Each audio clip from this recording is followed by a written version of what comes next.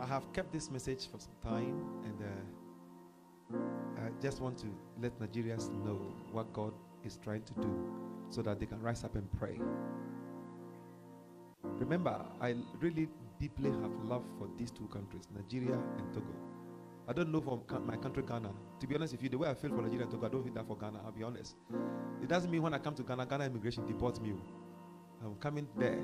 Can't deport me in Jesus' name. But I just love Nigeria and, and uh, Togo too much. I just don't know why. God has given me a job there to do. That's why. So He gave me that burden, that passion for the country. I want to see them succeed. And I'm telling you this. I've said it again in prophecy before. God showed me that Nigeria will be a delight. If you remember, there was a time I gave a prophecy that Nigeria will be a delight, and I, I will never renege on that prophecy because it's true. God says Nigeria will be a delight. Many people will love to be a Nigerian. You will see. God has showed it to me. So those of you who are disrespecting Nigerians today, tomorrow you'll be ashamed. You'll be ashamed.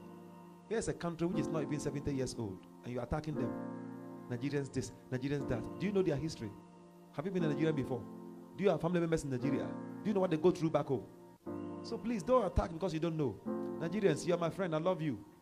Thank God we are not Liberians. Hallelujah. to God be the glory. Hear me. I saw a strange thing about Nigeria, and I've said it to some of you before, but God has asked me to make it official so we can pray. So if you're in Nigeria, I need you to hear me clearly. God showed it to me before TB Joshua died. And you remember, I told you that as a result, he was going to kill some pastors in Nigeria. If you remember. But he asked me to make it personal so that we can send it to Nigerians and they will pray about their country. I was in Nigeria in a place called Lagos. Look, in that place, and I, where I was, there was no sea. But for some reason, there was a water that turned like a sea from that place coming towards Togo. Because I know I was in a place called uh, Osun, Osun State. Oshun State is like uh, going towards a uh, sister where? Uh, uh, uh, Ibadan, right? Oyo, Oyo is Ibadan, right?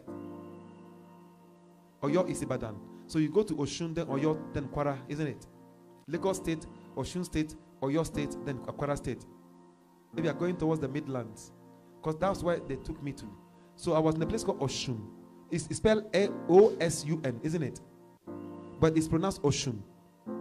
Osun. That's that's what I was. So I was standing in a place called Osun State, and as I stood there, the, that Osun State, I don't think they have got water like the sea there. I don't think they do. But all of a sudden, I saw the water levels rising, and it became a tsunami of water. And the tsunami of water began to sweep from Oshun State towards Lagos State, and it swept everything on the way. And when you got to Lagos, the whole Lagos was underwater, submerged everything, bridges, everything, everybody died. But I, I can't swim in real life because I grew up in the forest area in People's Republic of Sampa and so I can climb trees. So I'm supposed to be drowned in the water. But the ferocity of the water and the speed at which the tsunami was taking place was so high that I saw myself skateboarding. Skip, uh, surfing. S- like, surf, like surfing board. It, but it's like a skateboard. But short one like a skateboard. And then I was I stood on it this way and I was gliding on the water because it had four wheels. One, two, three, four wheels. On so I was skateboarding on the water, not rather than surfing. Does it make sense? And there was a reason for that because the debris and the broken pieces of wood and sticks and trees would have poked me. So, and the speed to which it was sweeping, it was sweeping down towards Togo. I will explain this to you because when we got to Lagos, a whole of Lagos was taken by the water. Everywhere was taken. Sorry buildings, everything was consumed. You can't see anything like the time of Noah's flood. Then we got to a place called Badagry, and the water came down like a dog. All of a sudden, everything calmed down. It was shocking, as if nothing happened. So I waited for three days later, and I have to come back to the city of Lagos to see what has happened. And everything had gone. There was hardships in Lagos. People were sleeping under bridges to the point where even uh, wash and wear. Nigerians will understand it because it's your, it's, your, it's your message. If you're in South Africa, it's not your message, so you don't understand wash and wear. Wash and wear means use clothing. Huh? Became like a delight. Because I saw people had brought in uh, relief goods, which was youth clothing. And the Nigerians were, you know, rushing it because they, they, had nothing. People were sleeping in the mud under the overhead bridge. Overhead bridge, oh, and, and it's in muddy. The the the the, the, the clay, the clay. The, it was a red clay, uh, you know, soil, and and so it doesn't dry quicker. So and people were sleeping. It was so funny. I was watching the thing. I said, Lord, but why did this happen in Badagry? He said, Badagry has a history in the life of Nigeria.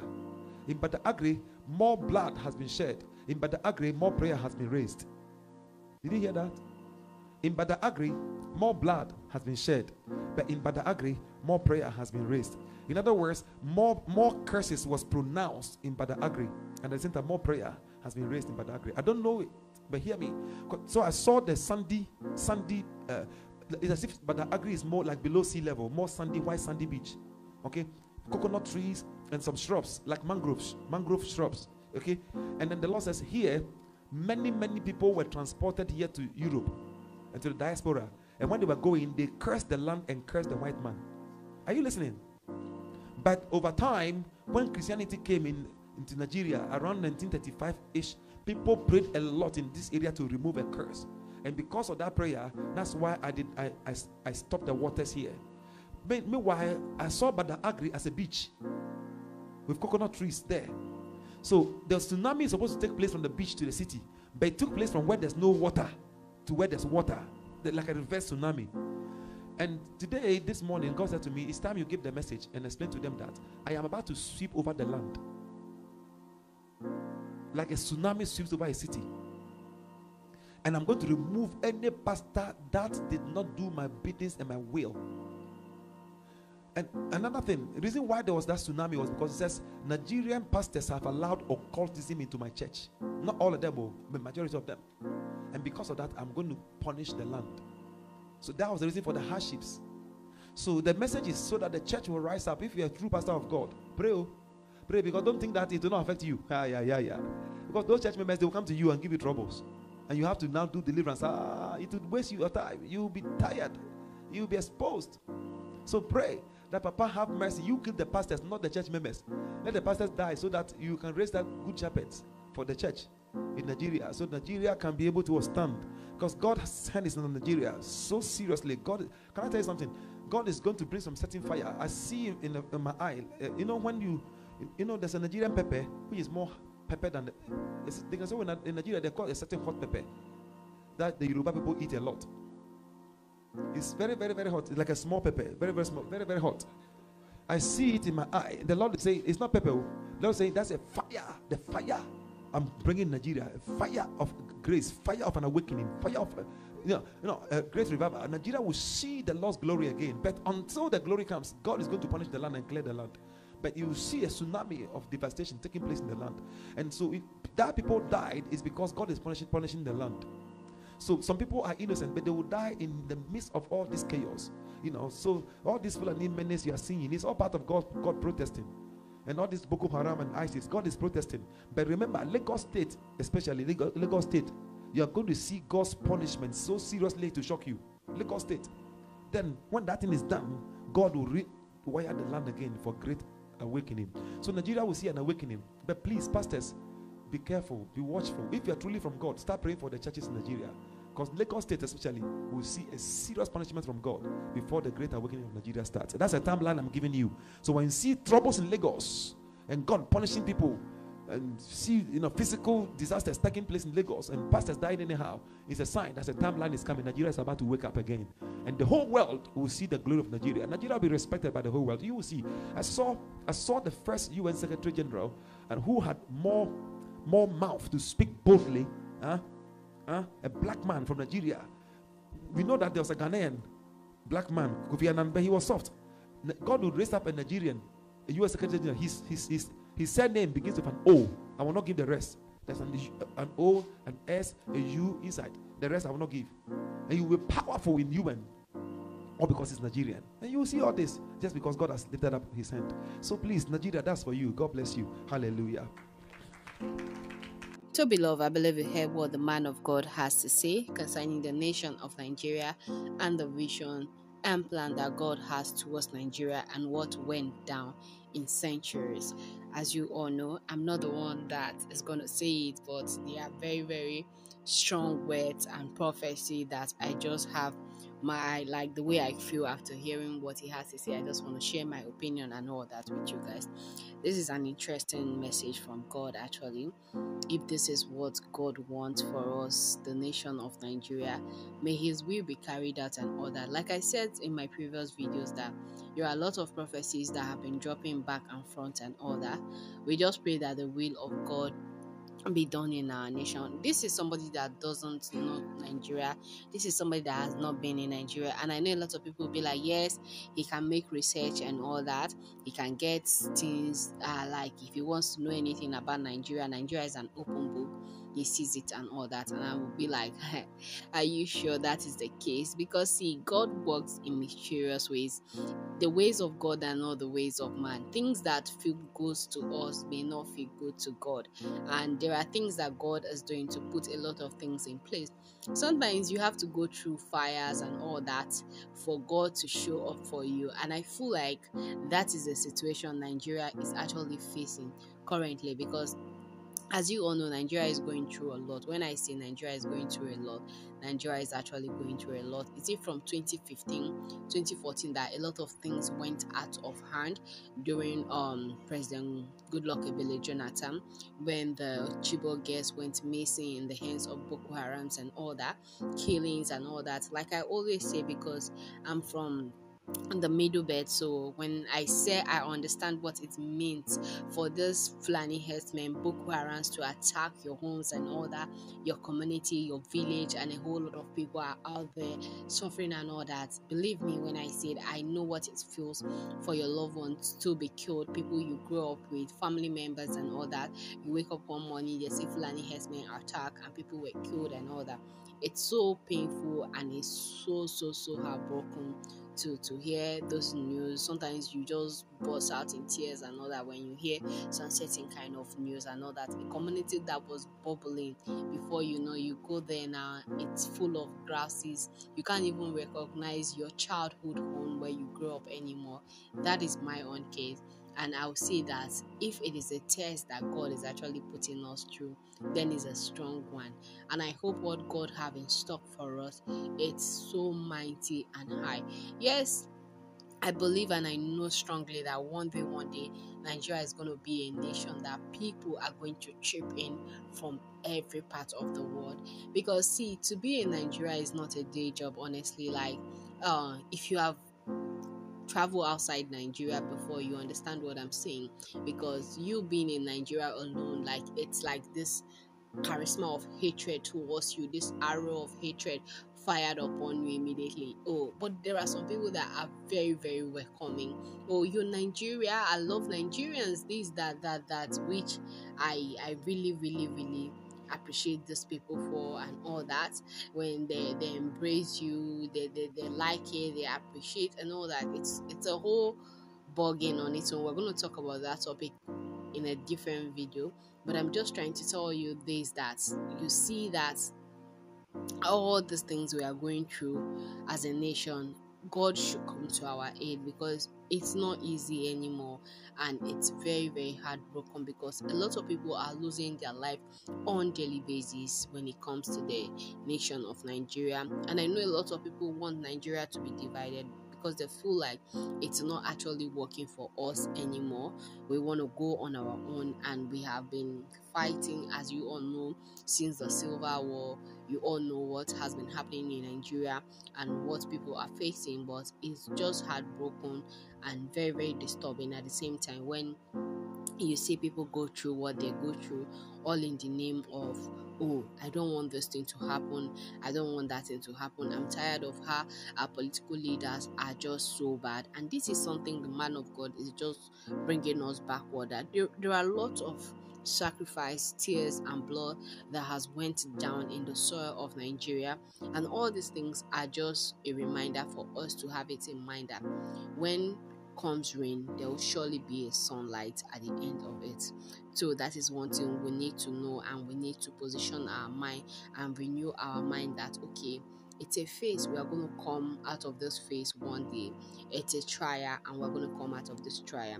Okay, just imagine during the slavery the, during the uh witty witty empire and all that there so if you think about people that lost their life people that were picked from their homes, their village, their hut to, to this white man's land and the lay curses, this person doing this to me. You know, that curses are still there. Like he says that when Christianity came, in as much as they won't pray, but they still laws of the innocent still screaming on the air and all that. And i began to understand some certain kind of things. I know that this video may not probably sit with a lot of us. I understand how you feel and all that yes because of the way things are going it's it's something.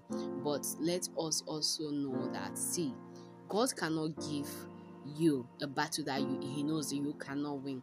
I know a lot of people will be like, eh, why would God give you a battle that you like in the first place and all that? Why would God put you through such trials and all that? See, everything changed during creation. That is one thing you need to know. If you saw through uh, through the uh garden of eden adam and eve and all that a lot of people will be like why did god even uh create the serpent See, I always say it, bah, that good and evil must work hand in hand for there to be balance in this world. That is it.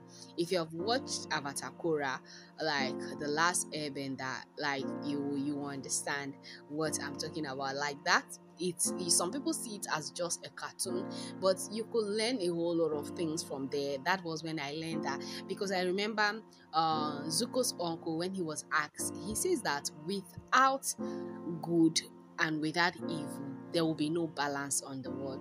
Because when they take evil from the the good it can't coexist and all that. Everything was falling in place. So that is one thing i want us to know. So you you mm. cannot see that why did God created the serpent and all that. See, God knows a thing from beginning to end because He knows that this is how humanity is going to come into existence and this is the way it's going to go. Some people will tell you that oh, when the Adam and Eve ate the apple and their eyes became open, that was how God's plans not change. God's plans never change. It remains the same. Sometimes ways to your destination may be different. You know that you're going to a particular village. There are two entrances to this village. You can use this other village to go to this village. You can use this other one to go to. So you can decide to pick which one, but at the end of the day, you're going to get to your destination. Definitely God knew that this is how humanity was going to be, but He didn't know that this is the route that these people are actually going to take. This is the route that they're going to take to get to that destination, and it happens. But He knew that these two routes, this is how it's going to be at the end of the day. So that is how it is. So God doesn't make mistakes with things, and I'm glad that somebody that it's a bit like he, he you could see that he knows what he's talking about. And when god reveals things to you you are on top of your game. You know what you're doing and you know what you're saying at the same time. So let's just take it like this because god is in control. God is in absolute control. You may be facing a lot. You may be going through a lot in nigeria currently and you feel like oh it's not well things are not going well anymore. Why is god? Why has god forsaken me? Why am i going through what i'm going through? It's part of your destiny there's a destiny can be delayed, but it can never be changed. It's for you to pray that your destinies embrace you on time. See, there's this power that you know you can unlock and unlock things. that is it. So just anything that belongs to you, you can command it to be yours today. You can command it to be yours in hundred years and all that. But if you don't live to see that and you say God has forsaken you, you suffer till death. But just learn the law of gravity that is just it. So that is just the video that i say let me come here and share with you guys because it's an interesting one and it's very very educative that i said okay let me come and share it with you so that you hear the voice of god from the man of god yourself and know God is doing with Nigeria. It's not over until it's over. So, guys, that is just the video I just brought your way. But before I go, please, please, please, if you've not subscribed to our channel, kindly subscribe, comment, like, share with family and friends so that you don't miss out on any of our content. And don't forget to turn on the post notification to get notified whenever we upload a new video. And if you're a returning subscriber, I want to use this opportunity to say a very big thank you. Thank you for always tuning in, and thank you for all those watching our video God bless you as you do that all the time. So, guys, that is just a video I decided to share with you. I hope you learned a lot and I hope you have hope that Nigeria is going to be better one day and be stronger than the way it is because with God, all things are possible because God is still in charge and God is still in control. No matter what we are facing as a nation right now, it will come to an end. Nigeria is going to be that you're going to be proud to be in Nigeria. You're going to wave that your international passport, any embassies you enter, any country you enter, and say, I'm in Nigeria with a proud voice because the will of God would definitely, definitely come to pass. So, guys, thank you very much for watching. I will see you in the next one. Bye for now.